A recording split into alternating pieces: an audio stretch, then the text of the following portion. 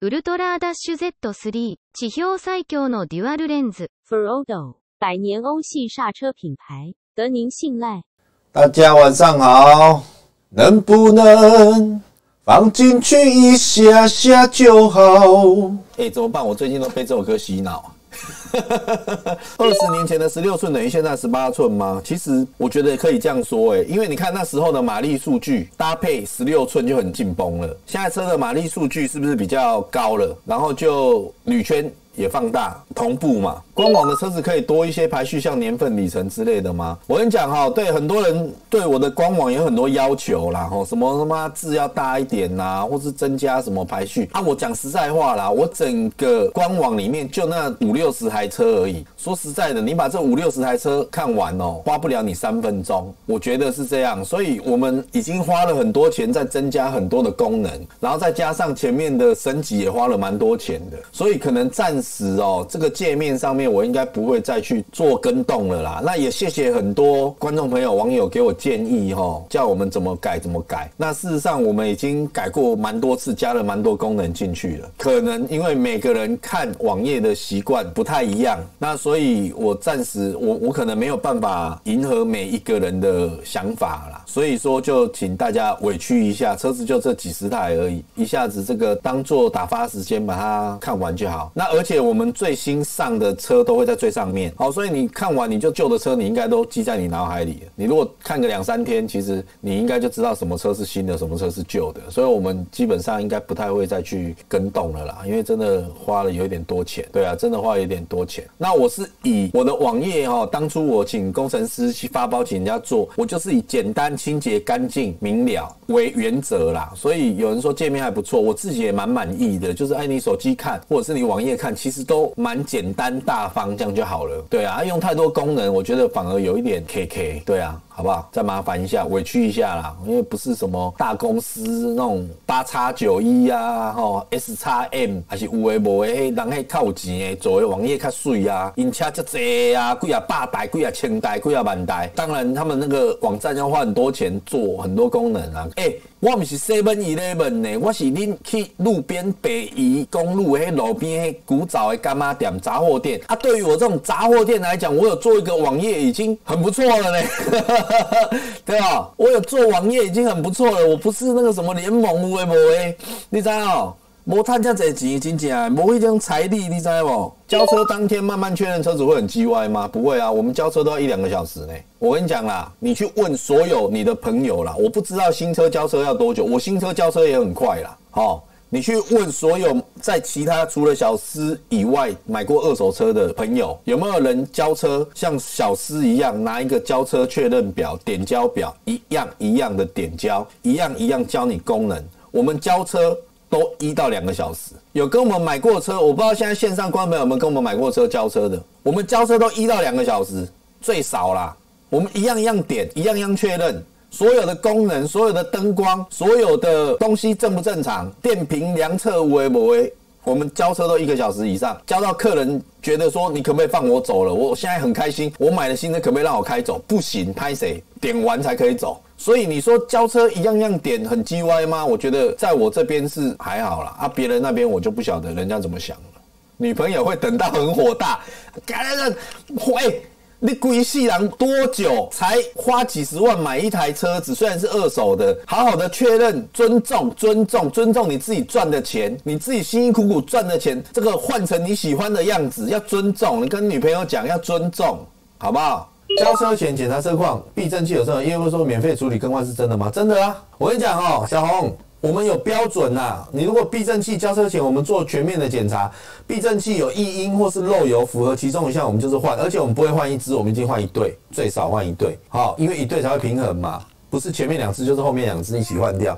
当然，如果你对边都漏油，那我就是全部四只都换掉，就这么简单，没什么好讲。我们每一样零件都有一个标准，那是真的啦，而且换新的我，没有在换中古的。你避震器这个最简单啦，我讲坦白话，我跟大家分享。通常以前我在其他车行上班呢，避震器有漏油这件事情，第一个能洗干净就洗干净，好，客人就不会发现嘛。然后客人交车也不会发现嘛，好，因为洗干净了嘛。好，客人回去开三个月、四个月、五个月漏油啊，不干我事。避震器也是消耗品。好，我今天才去拿一本联盟的保护手册回来看，避震器你你别灰，你别灯来灰，黑都是消耗品。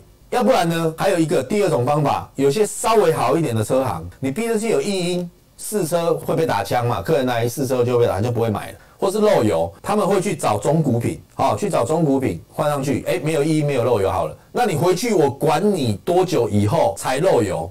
你回去有漏油有异音已经不干我事了，因为你已经交车了。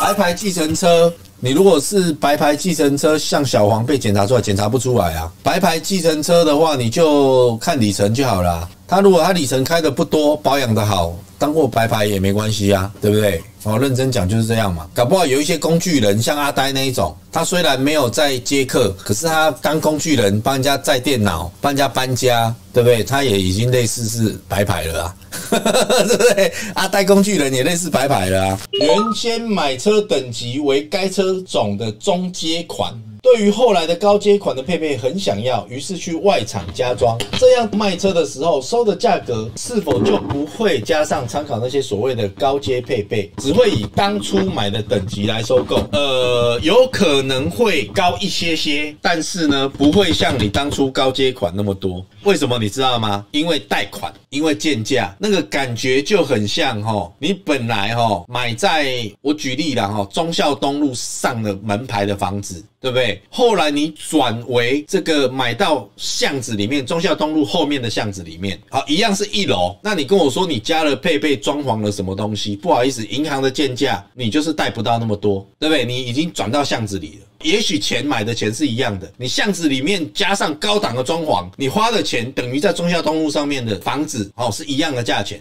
它不整理的价钱，对不对？但是问题来了，你真正在银行建价的时候，不好意思，你还是在中孝东路巷子里。中孝东路上的房子呢，还是建价的比你高哦，类似这种感觉。你说银行的建价会不会影响到行情估车？会，因为我跟你买太高回来，想买的人都贷不到那么高啊，因为你是低阶的车款，要买的人去办车贷的时候，行照一看你的型号就是不是高阶的车款，它就是以中阶、低阶的车款来放贷。对不对？那造成卖价没办法提升。哦，本来一般的车你自备一层至两层，剩下都可以分期，就可以买到这台车了。就因为你贷不到，要叫人家自备三层、自备四层，那不是每个人都拿得出来。好，所以一定因为你当初买的等级，绝对会影响到你日后的产值。那你说你加了配备会高一点？会，好，可能会比原本的中阶的车款估价再高一些些，但是还是不会比原本高阶的来的高。方向盘高速抖动是轮胎的问题吗？有可能啊。我跟你讲，这个有很多我的经验里面哈，轮胎的抖动，但最常见就是轮胎平衡跑掉嘛。平衡跑掉其实蛮准的啦，你只要超过一百公里才会抖，那大部分有八成一定是轮胎平衡跑掉。那我有遇过几个传动轴的问题，好也会抖动。我还遇过变速箱的问题哦，很屌。很久以前一台西美的哈，它的那个触发的那个场景啊。很像轮胎平衡跑掉，就是你开到一百左右的时候，你开始觉得你的轮子有点抖动。查了轮胎都是好的，传动轴都是好的，到最后才发现是变速箱的问题。它在某一个齿轮、某一个转速的时候就会抖。哦，那个很少见。但是我遇过，这个不是属于常常会遇到的，偶然哦，很久很久才会遇到一台变速箱也有可能，方向机也有可能啊，哦，所以其实原因蛮多，但通常有八成，你如果是在一百公里以上才发生，基本上多为铝圈平衡跑掉。买死猪价的二手车怎么开都不太会掉价，我想真的啦，这一两年买二手车比较热门车系的朋友，其实这一两年开车折价都不会太多。哦，有一个客户跟我们买一台 C 叉三，好像现在说用不到车了。哎，这客人开两年了哦，我跟大家分享今天才遇到的事情，好不好？我觉得这一两年买二手车、热门车系二手车的人真的很爽。你看哦，我讲给大家听哦，他给我买一台一八年的 C 叉三，在民国一百零九年的八月的时候买，现在刚好是民国一百一十一年的九月二十一岁，刚好过两年。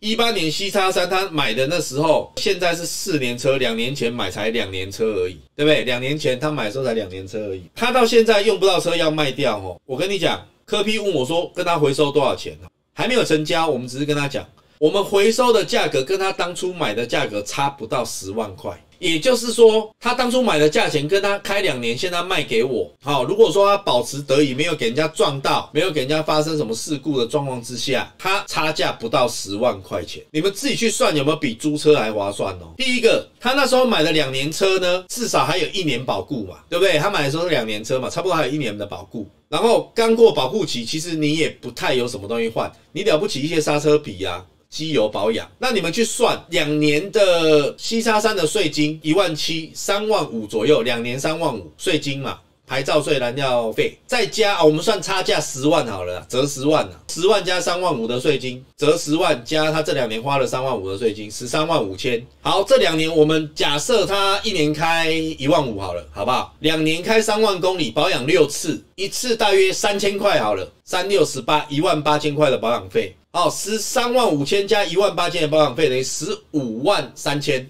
那其他的停车费、油钱我们不算嘛，因为停车费、油钱你不管你开什么车都得花嘛，对不对？再好十五万多，我们再给你加换一些耗材，刹刹车皮也好啦。哦啊，碟盘也给你换啊，什么换一些七叉三两三年车、三四年车换不到什么东西啦。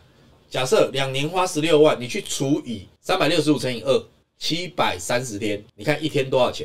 十六万除以七百三十，一天多少钱？我来算。假设他花十六万两年嘛，除以七百三十天嘛，一天两百一十九元，乘上一个月三十天，你租这台车一个月六千五百七十五块。好，大概就这样。哎，你去哪里租车可以租到一个月六千五的租金？加油钱不能算进去啊，因为不管你买什么车，你只要开车，你就一定要加油。对不对？我觉得加油钱、停车费不能算了。好啦，即使你们自己去换算呐，哈，即使你租了车位啊，你即使你加了油什么，你把它算进去，我跟你讲，一定比租车都还便宜。我跟你讲，疫情这一两年买车的人真的比租车还划算。我讲真的是这样。但你当然你要买的是主流车款呐，哦，你要买主流车款哦，保险费没赚到，但保险费看你保什么险呐，哦，保险费你也把它算进去啊。哦，一年假设多保丙式的一万五千块左右，哦，你给他算两年也是三万，再把它加进去，你用十九万去除也 OK 啊。我就算二十万好了啦，保险费算进去，二十除以七百三，一天两百七十三块，三十天八千二。我把丙式险两年都算进去，哦，你租这台西沙山一个月八千二，你去哪里住？哦，很便宜啦。但是我觉得现主流车款呢，坦白说，你如果买一些比较没那么主流的。你例如说，我昨天刚遇到一个那个保时捷的马康，他光上个月问我的价钱跟这个月问我的价钱差二十万，他要把他的马康卖掉。他上个月问哦，假设他上个月问我报两百六，可能他这个月问隔一个月问剩两百四。那它是主流车款没错，但它是高级车款，再加上说，因为一直到年底，可能它会跟着市场，比如说，如果假设保时捷陆续新车有交，那马康出来数量多，价钱就掉下来，那一掉就很可怕。没有啊，不止马自达折的少啊。你如果买到，比如说喜美九代啊，丰塔车系也都一样啊，都没什么折啊。福特啦，福特可能就折三代的 MK 三就折蛮多的，我觉得。可是福特的车一直都是这样，就是它在新的时候其实折价还好，但是它越旧到一个程度哦，就是我在讲的那一些像 Skoda、VAG 车系的。其实他们到一个年份稍微旧了以后，那毛病开始出来以后，其实问题就陆续会浮现。对啊，所以新的福特恩奇讲的，一九年的比较新的这个世代的，基本上折价也还好。但是你如果等到它四年、五年以上，那折就折很多了。CRV 也是啊，HRV 也是啊，奇恩塔啦，哦等等，Artis 等等。这一两年没有什么折价啦，真的没有什么折价啦。这一两年买的真的都赔不了多少钱，真的你你比租车都还划算呐。保时呢不用讲，那冷门车折价一定凶的啊。哦，它折价是一定凶。我要讲的是主流车款哦，好不好？亚里是六月买的豪华版，看不到上个月五十五万卖掉吗？豪华版新车价多少钱啊？六八五哦，第一年六月买，第一年我觉得第一年至少要二十万，我感觉是在大概要在五十万左右。因为你想想看呐，玉峰，你想想看哦，来这跟大家分享一下行情好不好？刚好玉峰有在问哦，你看到他问我，第一年一定是折最多的，你知道为什么吗？为什么我说我我估计要差二十万是这样？今天一台新车定价六十八万五的车子，原厂没有便宜个五趴吗？五八四十写临近四五六三十，也要折个三四万块嘛，所以你等于大概六十五万左右，你可以到手。不算他们有一些疯狂促销的时候啦。好，假设六十五万可以买到新车，新车一定会有折价嘛？那我今天我是一台二手车，即使是六月开几千公里，好，我如果我跟你说五十五万，我假设玉峰说的有没有五十五？好，那五十五回来我要赚个一成，我要开六十万，那我就请问线上的三百多位观众朋友，我今天一台二手开几千公里的亚瑞斯，新车六十五万，结果小四要卖六十。颜色你还不能选，隔热纸你还不能选自己喜欢的隔热纸，配件还不能跟业务凹，好也没有开箱的那种乐趣，那会怎样？小师会怎样？卖不出去，因为没有赚到的感觉，你知道吗？没有价差感，大家都想说我买新的就好了，我就买新的，我差那五万块吗？对不对？五万块我没差，我差的是五十万嘛，有五十万我就可以买双 B 了。可是差五万，你会不会觉得？而且再来一个是。亚律斯它不是一个需要等的车子，不是一个热门到需要等的车子嘛？哦，所以我觉得一定要更大的价差才会引诱发消费者想要买的那个感觉。当然，我觉得站在车主立场，当然是赔越少越好了。好，那当然我现在是跟大家分享站在车商的立场。有人说保固，我跟你讲，裕丰的亚律师也还有保固，对他六月买的保固差两个月，哎，三个月而已，现在九月而已啊。哦，所以保固我觉得还好。就差三个月啊！压律师保固没保固，其实压律师也没什么大问题。所以我为什么说我评估？我觉得我跟玉峰可能大概在五十万卖车商的话，我觉得为什么？因为五十万如果假设我卖个五十三、五十五，对不对？一到两成嘛，啊，一成啊，五十五啦。那跟六十八万感觉起来有个十三万的价差嘛，对不对？哎，吸引人哦，六十万的车有十三万的价差，哦，已经这个六六分之一超过了五分之一到六分之一的差价了，那买的人才会有感觉。才会想买，好，所以这跟大家分享，就是我们要买这个这么新的车子，我们要去评估新车公司的折价，而且很危险哦。我刚刚还是算一般六八五的五趴的一个折扣而已哦。有时候新车的 K 下五领牌车的西尊，那冲绩效的西尊，哎，你不要看哦，亚律斯一台可以不用六十万就买得到了嘛，那我就挂了。我如果万一我去买了御风，不管五十万跟他买还是五十万跟他买，我都挂，只要原厂一个折价、一个促销、一个比赛。我就挂了，对不对？他们有时候有一些领牌库存车，妈丢出来你就死了嘛。他只要拉到折价五万的折价变八万，你就挂了。好啊，如果当初买 Swiss Pro 就几乎没亏，没错。好，所以这个就跟市场，所以我刚刚讲亚律师不是那种会常缺车的东西，那都做一大堆等着卖的东西，对不？还大社会，你知不？哎呀，我做一堆来单你来买，我唔惊。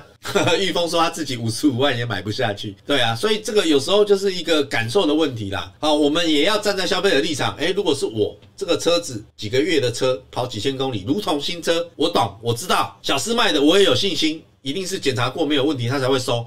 问题来了，价差不够大，没有诱发我想要买的感觉，对吧？新车还在贷款想卖，还有钱可以拿吗？或是钱都拿去付贷款？不一定啊，看你的车啊，很简单嘛。你的车买一百万，你贷款还有八十万，然后你现在卖掉，假设还有九十万，那你就找十万回去啊，清完八十万贷款，你剩十万。如果万一你贷了八十万，结果现在外面估都估七十，不好意思，你还要贴十万，就这么简单。哦，所以还有没有钱可以拿，看你是什么车，看你贷多少钱，对不对？有人一百万的车贷八十，有人一百万的车只贷三十，所以我也不晓得你的数字是怎么样。好了，那大家晚安了哈，拜拜。ウルトラダッシュ Z3 地表最強のデュアルレンズ。Ferodo 百年欧系刹车品牌，得您信赖。大家晚安。